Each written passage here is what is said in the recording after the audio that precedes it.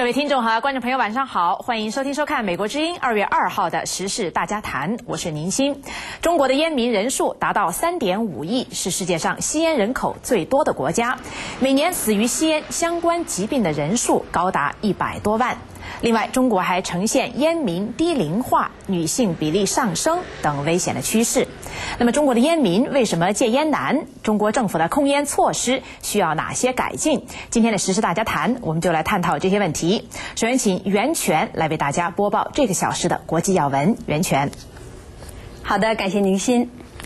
巴基斯坦警方说，武装分子绑架了为联合国难民署工作的一名美国公民。警方说，持枪男子今天在西南城市奎达袭击了联合国官员约翰·索莱茨基和他的司机。当时他们正在上班的路上，有关官员说，司机在袭击中受伤，后来死亡。联合国官员还没有证实索莱茨基的身份，但是他们证实司机已经死亡，并说那名联合国工作人员的下落不明。目前还不清楚凶手是谁，当局正在调查这一事件。目击者说，联合国官员乘坐的汽车在遭遇突袭后撞到了墙上。自从2004年巴基斯坦西南地区爆发叛乱活动以来，当地已有数百人丧生。该地区的反叛分子要求政治自治，并且更多的分享当地的自然资源。阿富汗当局说，一名自杀炸弹杀手在阿富汗南部炸死21名警察。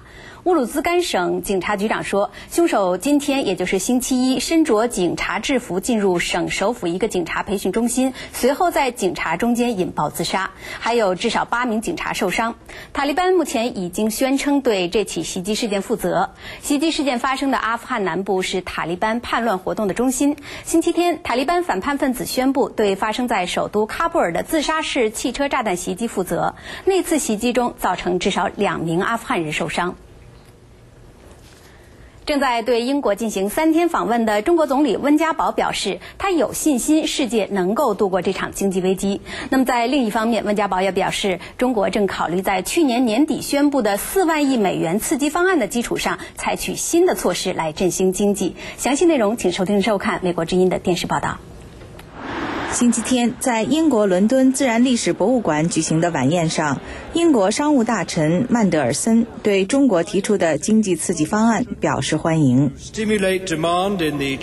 中国采取了强有力的行动，刺激经济需求，其中包括一项四万亿人民币的刺激计划，这十分重要，因为中国是全球经济的重要引擎之一，而我们希望看到全球经济继续成长，而不是消退。Which we want to see continue to thrive, not falter. 中国总理温家宝表示，虽然会有很多困难，但是2009年中国可以维持八个百分点的经济增长率。保险达到百分之八左右的速度吗？我坦率告告诉大家，依然很困难。因为中国管得了自己，管不了世界。温家宝表示，他这次出访也是为了加强同包括欧洲在内的世界各国的合作。我这次来，还带来同世界各国，特别是欧洲合作的愿望。我认为应对这场危机，任何一个国家都不可独善其身，更不可置身度外。星期天，一些西藏支持者在英国自然历史博物馆外举行了示威。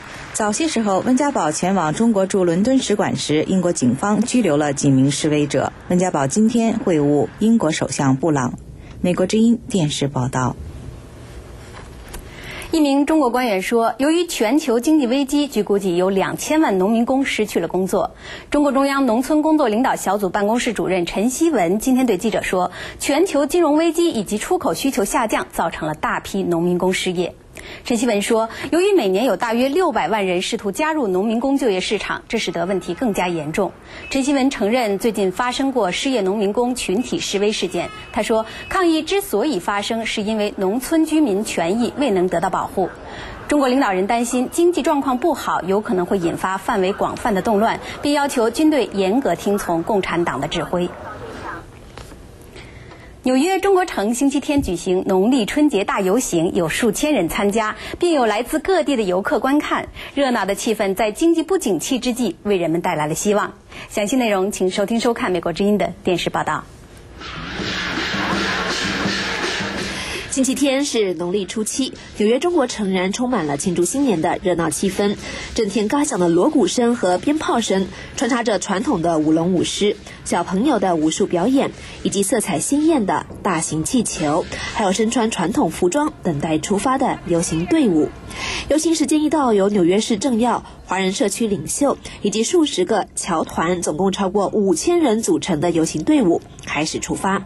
街道两旁以及商家的门口挤满了近万名来自各地的游客和当地的华人居民参观。虽然美国金融危机导致商家的景气普遍萧条，但热闹的气氛仍然给民众们带来希望。尤其是农历年前，美国新任总统奥巴马才刚刚就职，许多人对未来这一年充满了期待，希望中国人牛年的吉祥象征也能够带领美国的华尔街股市重返牛市。这一位纽约市的华裔居民张女士说。有了一位好总统，我对新的一年充满希望，因为我也是属牛的，因此我想今年会有好运气。